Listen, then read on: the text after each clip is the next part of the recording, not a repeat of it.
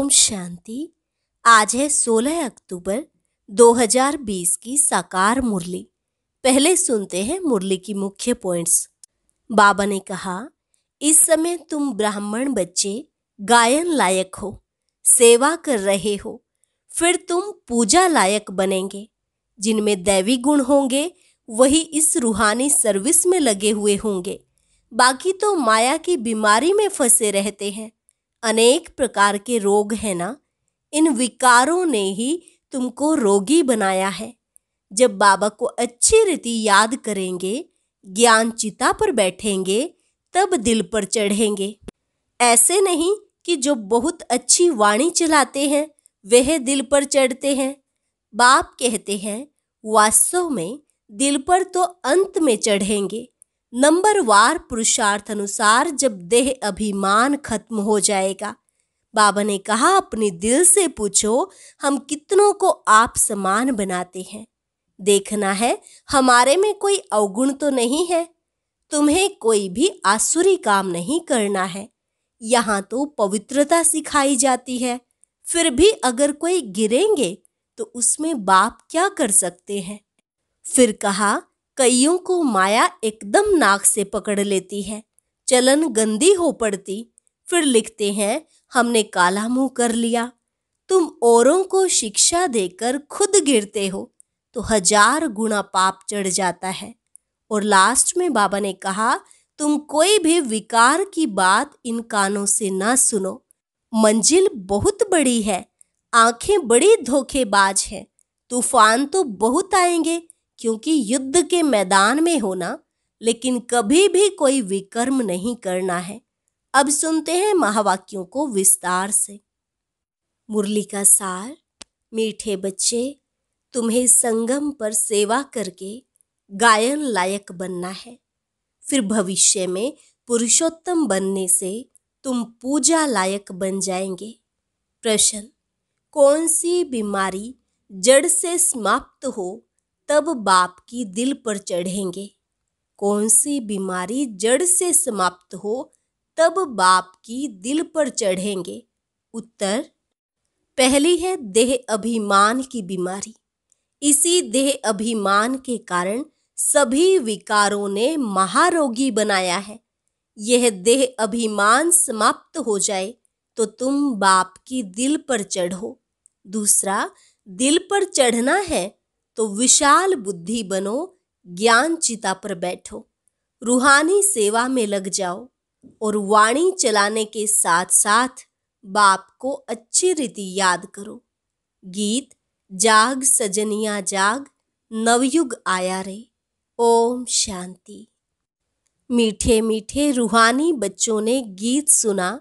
रूहानी बाप ने इस साधारण पुराने तन द्वारा मुख से कहा बाप कहते हैं, मुझे पुराने तन में, पुरानी राजधानी में आना पड़ा। अभी यह रावण की राजधानी है, तन भी पराया है, क्योंकि इस शरीर में तो पहले से ही आत्मा है। मैं पराए तन में प्रवेश करता हूँ। अपना तन होता तो उसका नाम पड़ता, हमारा नाम बदलता नहीं। मुझे फिर भी कहते हैं, शिव बाबा, गीत तो बच्चे रोज सुनते हैं नव युग अर्थात नई दुनिया सतयुग आया। अब किसको कहते हैं जागो? आत्माओं को, क्योंकि आत्माएँ घोर अंधियारे में सोई पड़ी हैं, कुछ भी समझ नहीं। बाप को ही नहीं जानते, अब बाप जगाने आए हैं। अभी तुम बेहद के बाप को जानते हो, उनसे बेहद का सुख मिलना है नए युग में। सतयुग को नया कहा जाता है। कलयुग को पुराना युग कहेंगे। विद्वान, पंडित आदि कोई भी नहीं जानते। कोई से भी पूछो, नया युग फिर पुराना कैसे होता है? तो कोई भी बता नहीं सकेंगे। कहेंगे, यह तो लाखों वर्ष की बात है। अभी तुम जानते हो, हम नए युग से फिर पुराने युग में कैसे आए हैं? अर्थात स्वर्गवासी से नरकवासी कैसे बने हैं? मनुष्य तो कुछ भी नहीं जानते। जिनकी पूजा करते हैं, उनकी बायोग्राफी को भी नहीं जानते। जैसे जगदम्बा की पूजा करते हैं, अब वह अम्बा कौन है, जानते नहीं। अम्बा वास्तव में माताओं को कहा जाता है, परंतु पूजा तो एक की होनी चाहिए। शिव बाबा का भी एक ही अव्यभिचारी यादगार है। अम्बा भी एक है, परंतु जगत अम्बा को जानते नहीं। यह है जगत अम्बा और लक्ष्मी है जगत की महारानी। तुमको पता है कि जगत अम्बा कौन है और जगत महारानी कौन है। यह बातें कभी कोई जान न सके। लक्ष्मी को देवी और जगत अम्बा को ब्राह्मणी कहेंगे। ब्राह्मण संगम पर ही होते हैं। इस संगम युग को कोई नहीं जानते। अर्थात जगत अम्बा संगम युग पर ही होती है। प्रजापिता ब्रह्मा द्वारा नई पुरुषोत्तम सृष्टि रची जाती है। पुरुषोत्तम तुमको वहाँ देखने में आएँगे। इस समय तुम ब्राह्मण गायन लायक हो, सेवा कर रहे हो, फिर तुम पूजा लायक बनेंगे। ब्रह्मा को इतनी भुजाएँ देते हैं तो अम्बा को भी क्यों नहीं देंगे? उनके भी तो सब बच्चे हैं ना। माँ बाप ही प्रजापिता बनते हैं। बच्चों को प्रजापिता नहीं कहेंगे। लक्ष्मी नारायण को कभी सतयुग में जगत पिता, जगत माता नहीं कहेंगे। प्रजापिता का नाम बाला है। जगत पिता और जगत माता एक ही है, बाकी हैं उनके बच्चे। अजमेर में प्रजापिता ब्रह्मा के मंदिर में जाएँगे तो कहेंगे, बाबा, क्योंकि है ही प्रजापिता। हद के पिताएँ बच्चे पैदा करते हैं तो वह हद के प्रजापिता ठहरे। यह है बेहद का। शिव बाबा तो सब आत्माओं का बेहद का बाप है। यह भी तुम बच्चों को कॉन्ट्रास्ट लिखना है। जगत अम्बा सरस्वती है एक। नाम कितने रख दिए हैं? दुर्गा, काली आदि अम्बा और बाबा के तुम सब बच्चे हो, यह रचना है ना? प्रजापिता ब्रह्मा की बेटी है सरस्वती। उनको अम्बा कहते हैं। बाकी हैं बच्चे और बच्चियाँ। हैं सब एडोप्टेड इतने सब बच्चे कहाँ से आ सकते हैं? यह सब है मुख्य वंशावली। मुख से स्त्री को क्रिएट किया तो रचता हो गया। कहते हैं यह मेरी है, मैंने इनसे बच्चे पैदा किए हैं, यह सब है एडोप्शन यह फिर है ईश्वरीय मुख द्वारा रचना, आत्माएँ तो है ही, उनको एडोप्ट नहीं किया जाता है। बाप कहते हैं, तुम आत्माएँ, सदैव मेरे बच्चे हो। अर्थात, आत्मा रूप में तो हम हैं ही शिव बाबा के बच्चे, फिर अभी शिव बाबा आकर प्रजापिता ब्रह्मा द्वारा बच्चों को एडोप्ट करते हैं। बच्चों आत्माओं को नहीं एडोप्ट करते, बच्चे और बच्चियों को करते हैं, अर्थात शरीरधारियों को करते हैं। यह भी बड़ी सूक्ष्म समझने की बातें हैं। इन बातों को समझने से तुम यह लक्ष्मी नारायण बनते हो। कैसे बने यह हम समझा सकते हैं। क्या ऐसे कर्म किए जो यह विश्व के मालिक बने, तुम प्रदर्शनी आदि में भी पूछ सकते हो। तुमको मालूम है, इन्होंने ये स्वर्ग की राजधानी कैसे ली। तुम्हारे में भी यथार्थ रीति हर कोई नहीं समझा सकते। जिनमें दैवी गुण होंगे, इस रूहानी सर्विस में लगे हुए होंगे, वह समझा सकते हैं। बाकी तो माया की बीमारी में फंसे रहते हैं। अनेक प्रकार के रोग हैं। देह अभिमान का भी रोग है। इन विकारों ने ही तुमको रोगी बनाया है। बाप कहते हैं, मैं तुमको पवित्र देवता बनाता हूँ। तुम सर्वगुण संपन्न, पवित्र थे अभी पतित बन गए हो। बेहद का बाप ऐसे कहेंगे, इसमें निंदा की बात नहीं, यह समझाने की बात है। भारतवासियों को बेहद का बाप कहते हैं मैं यहाँ भारत में आता हूँ। भारत की महिमा तो अप्रम अपार है। यहाँ आकर नर्क को स्वर्ग बनाते हैं, सबको शांति देते हैं। तो ऐसे बाप की भी महिमा अप्रम अपार है, पारावार नहीं। जगत अम्बा और उनकी महिमा को कोई भी नहीं जानते। इनका भी कॉन्ट्रास्ट तुम बता सकते हो। यह जगत अम्बा की बायोग्राफी यह लक्ष्मी की बायोग्राफी। वही जगत अम्बा फिर लक्ष्मी बनती है। फिर लक्ष्मी सौ चौरासी जन्मों के बाद जगत अम्बा होगी। चित्र भी अलग अलग रखने चाहिए। दिखाते हैं लक्ष्मी को कलश मिला, परंतु लक्ष्मी फिर संगम पर कहाँ से आई? वह तो सतयुग में हुई है। यह सब बातें बाप समझाते हैं। चित्र बनाने के ऊपर जो मुकर्र है उनको विचार सागर मंथन करना चाहिए तो फिर समझाना सहज होगा। इतनी विशाल बुद्धि चाहिए, तब दिल पर चढ़े। जब बाबा को अच्छी रीति याद करेंगे, ज्ञान चिता पर बैठेंगे, तब दिल पर चढ़ेंगे। ऐसे नहीं कि जो बहुत अच्छी वाणी चलाते हैं, वह दिल पर चढ़ते हैं। नहीं, बाप कहते हैं दिल पर अंत में चढ़ेंगे। नंबरवार पुरुषार्थ अनुसार जब देह अभिमान खत्म हो जाएगा। बाप ने समझाया है, ब्रह्म ज्ञानी ब्रह्म में लीन होने की मेहनत करते हैं, परंतु ऐसे कोई लीन हो नहीं सकता। बाकी मेहनत करते हैं, उत्तम पद पाते हैं, ऐसे ऐसे महात्मा बनते हैं जो उनको प्लेटिनियम में वज़न करते हैं। क्योंकि ब्रह्म में लीन होने की मेहनत तो करते हैं ना तो मेहनत का भी फल मिलता है, बाकी मुक्ति जीवन मुक्ति नहीं मिल सकती। तुम बच्चे जानते हो, अब यह पुरानी दुनिया गई की गई। इतने बोम्स बनाए हैं, रखने के लिए थोड़े ही बनाए हैं। तुम जानते हो, पुरानी दुनिया के विनाश के लिए यह बोम्स काम आएँगे। अनेक प्रकार के बोम्स हैं। बाप ज्ञान और योग सिखलाते हैं। फिर राज राजेश्वर डबल सिरताज देवी देवता बनेंगे। कौन सा ऊंच पद है? ब्राह्मण चोटी है ऊपर में, चोटी सबसे ऊपर है। अभी तुम बच्चों को पतित से पावन बनाने बाप आए हैं। फिर तुम भी पतित पावनी बनते हो। यह नशा है। हम सबको पावन बनाए राज राजेश्वर बना रहे हैं। नशा हो तो बहुत खुशी में रहें।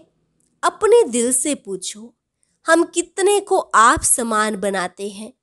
प्रजापिता ब्रह्मा और जगत अम्बा दोनों एक जैसे हैं।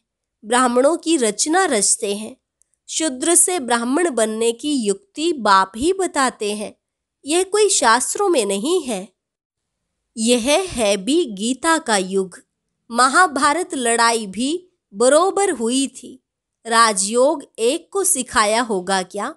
मनुष्यों की बुद्धि में फिर अर्जुन और कृष्ण ही है। यहाँ तो ढेर पढ़ते हैं।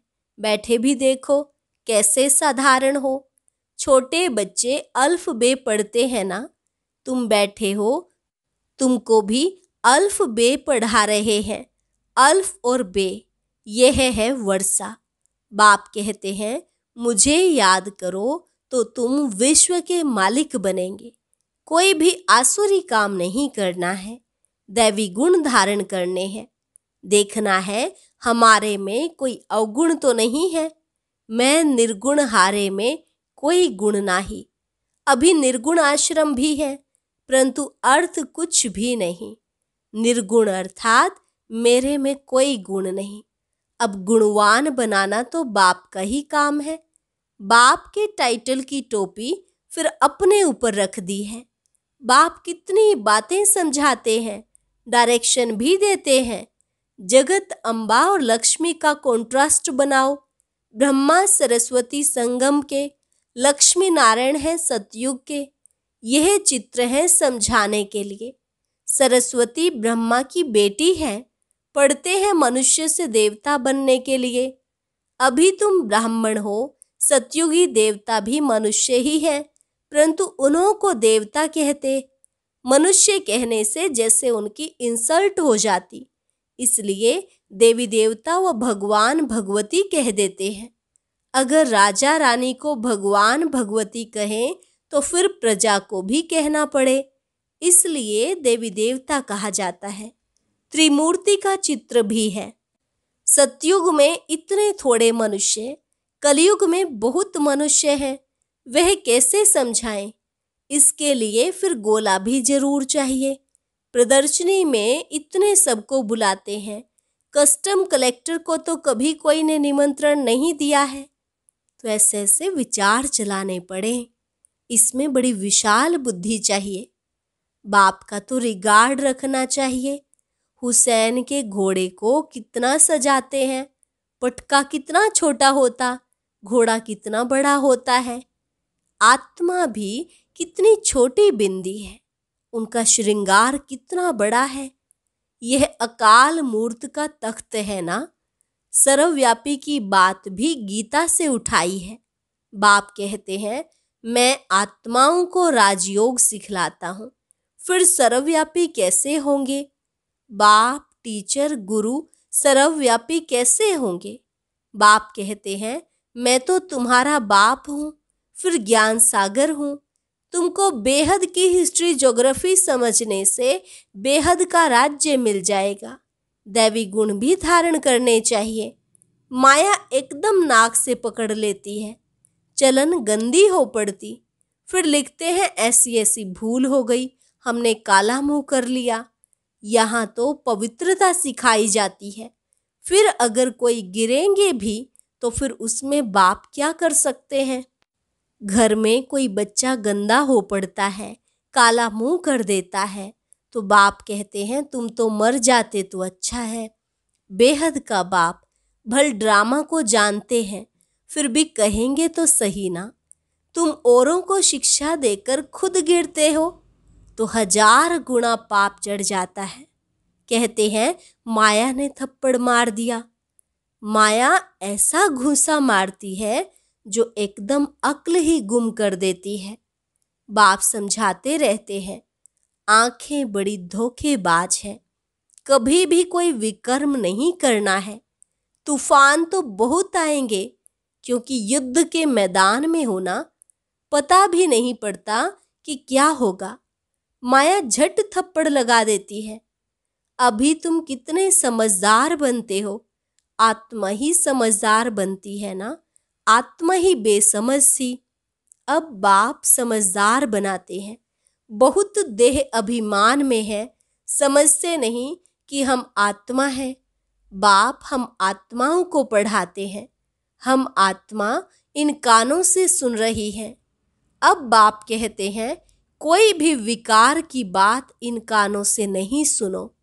बाप तुम्हें विश्व का मालिक बनाते हैं। मंजिल बहुत बड़ी है।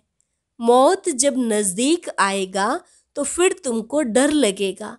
मनुष्यों को मरने के समय भी मित्र संबंधी आदि कहते हैं ना, कि भगवान को याद करो, या कोई अपने गुरु आदि को याद करेंगे।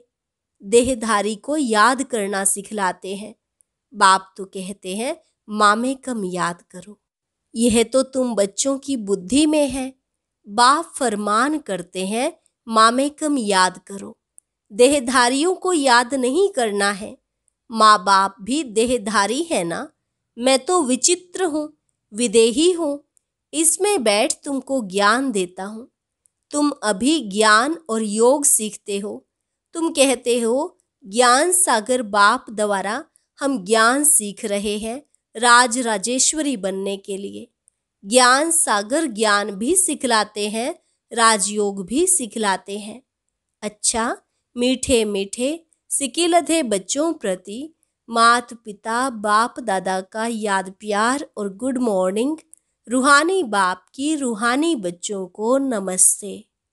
रूहानी बच्चों की रूहानी बाप दादा को नमस्ते नमस्ते, गुड मॉर्निंग। धारणा के लिए मुख्य सार, पहली पॉइंट समझदार बन, माया के तूफानों से कभी हार नहीं खाना है। आँखें धोखा देती हैं, इसलिए अपनी संभाल करनी है। कोई भी विकारी बातें इन कानों से नहीं सुननी है। दूसरी पॉइंट अपने दिल से पूछना है कि हम कितनों को आप समान बनाते हैं। मास्टर पतित पावनी बन सबको पावन राज राजेश्वर बनाने की सेवा कर रहे हैं। हमारे में कोई अवगुण तो नहीं है। दैवी गुण कहाँ तक धारण किए हैं? वरदान, सभी को ठिकाना देने वाले रहम दिल बाप के बच्चे रहम दिल भव। सभी को ठिकाना देने वाले रहम दिल बाप के बच्चे रहम दिल भव। रहम दिल बाप के रहम दिल बच्चे किसी को भी भिखारी के रूप में देखेंगे तो उन्हें रहम आएगा कि इस आत्मा को भी ठिकाना मिल जाए, इसका भी कल्याण हो जाए। उनके संपर्क में जो भी आएगा, उसे बाप का परिचय ज़रूर देंगे। जैसे कोई घर में आता है तो पहले उसे पानी पूछा जाता है। ऐसे ही चला जाए तो बुरा समझते हैं। ऐसे जो भी संपर्क में आता है उसे बाप के परिचय का पानी ज़रूर पूछो। अर्थात, दाता के बच्चे दाता बनकर कुछ न कुछ दो, ताकि उसे भी ठिकाना मिल जाए। स्लोगन, यथार्थ वैराग्य वृत्ति का सहज अर्थ है, जितना न्यारा, उतना प्यारा। यथार्थ वैराग्य वृत्ति का सहज अर्थ है, जितना न्यारा, उतना प्यारा। अच्छा ओम शांति। आज की अव्यक्त मुरली ज़रूर सुने। उसके लिए ऊपर दिए गए बॉक्स को टच करें।